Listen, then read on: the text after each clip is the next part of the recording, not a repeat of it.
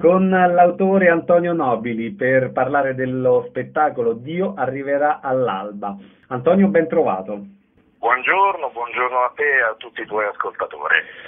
Presentiamo questo lavoro, raccontiamolo. Sì, questo lavoro nasce da una profonda attività di ricerca che io svolgo da tempo su quelli che sono i gusti contemporanei della platea e da una ventina d'anni si è sviluppato un gusto verso quelle che sono le vite degli altri, più che sviluppato si è riacceso. Da ciò il mio orientamento verso la scrittura di testi biografici, ai quali cerco sempre di fondere quella che è la mia caratteristica di scrittura, cioè la poetica.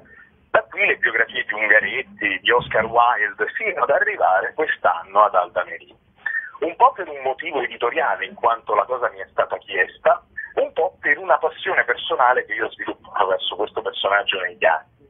Nel decennale quindi trovo l'occasione di mettere a frutto questa passione che ho, questo incontro della mia ricerca in questo testo che poi arriverà all'alba. Un personaggio molto amato per quanto riguarda cinema e teatro. Ecco, quali sono gli aspetti di questa artista che apprezzi maggiormente? Guarda, ti dirò, eh, inizialmente eh, mi sono un po' scontrato, poiché io vengo da un classicismo che prevede il verso in endecasillabo, la passione per la parola arcaica.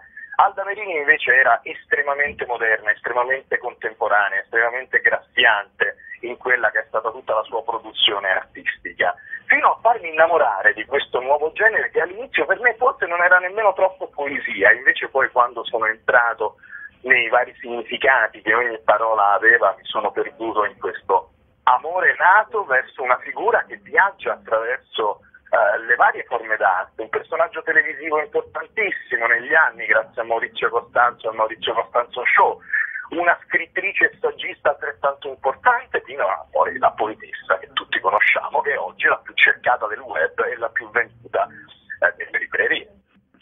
Antonio, come è strutturato lo spettacolo? Lo spettacolo è il racconto da me immaginato della vita di Alda Merini nell'arco di quelli che sono gli ultimi dieci anni. Uh, una vita fatta all'interno, vissuta all'interno di una casa popolare malmessa, con la muffa sulle pareti, le crepe sul soffitto, uh, una vita molto semplice, vissuta fumando sigarette, uh, bevendo Coca-Cola, una vita spartana che è più vicina a quella di Bukowski, certo che a quella di alcuni poeti che possiamo immaginare.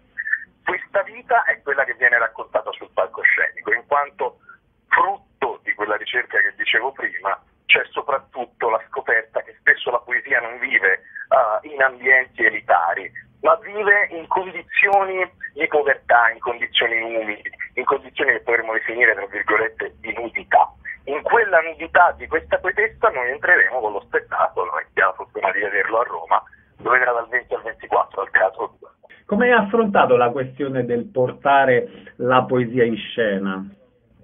Portato la poesia in scena facendo vedere al pubblico, come ti dicevo, che vive nelle piccole cose. Mm, okay. Spesso noi ignoriamo la grande poesia che vive nei piccoli gesti, nelle piccole azioni. Ad esempio c'è tantissima poesia nel ricordare, nel mio caso, il profumo di Nelson che avevano le mani di mia nonna o quel leggero frastagliato dovuto al continuo lavare dei piatti. Ecco, in queste piccole cose noi scopriremo che c'è spesso una grande poesia quando vengono rievocate con le parole giuste e poi stanno alla base. Com'è stato il lavoro con uh, attori ed attrici? Abbiamo fatto un lavoro lungo di lettura a tavolino un lavoro che oggi spesso il teatro non si può permettere di fare visti i tempi di produzione in cui in 15-20 giorni devi allestire una messa in scena. Noi invece ci siamo potuti soffermare su quella che è l'analisi dei versi della poetessa, su quella che è stata la sua vita, vedere video, leggere qualcosa di diverso dal copione. Tutti gli attori sono entrati quindi in una condizione che poi ha avuto un grande vantaggio in quella che è la loro interpretazione in scena. Ci lasci i riferimenti internet per saperne di più? www.teatrosenzatempo.com slash altamerini Dio arriverà all'alba. Un saluto e un ringraziamento all'autore Antonio Nobili. Antonio, un abbraccio, un in bocca al lupo e a